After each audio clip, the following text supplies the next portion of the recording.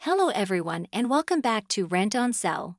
Today, we're delving into a crucial aspect of homeownership the process of house condemnation. Whether you're a homeowner or just curious about the subject, understanding the ins and outs of this process is essential. So let's dive right in.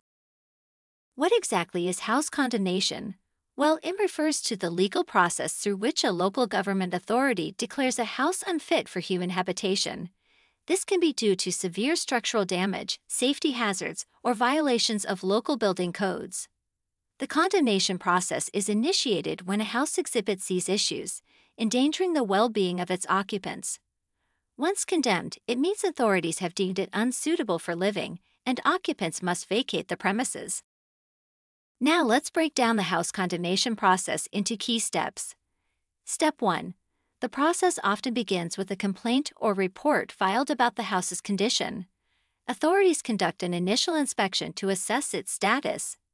Step 2 Based on the inspection findings, the house is categorized as livable, repairable, or condemned.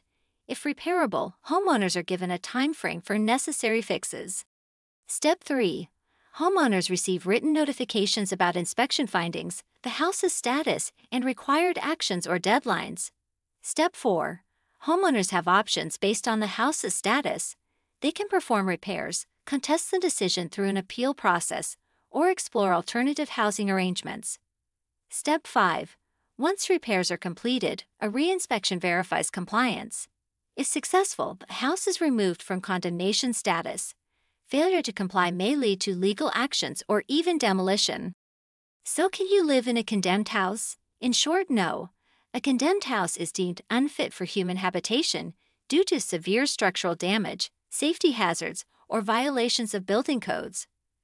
Authorities require occupants to vacate the premises until necessary repairs and improvements are made to ensure safety and habitability. Now, here's the question many homeowners facing condemnation ask Can a condemned house be fixed? Yes, in many cases it can. The feasibility depends on the extent of structural damage, safety hazards, or violations present. If the issues are repairable within regulations and building codes, homeowners may have the opportunity to bring the house back into compliance.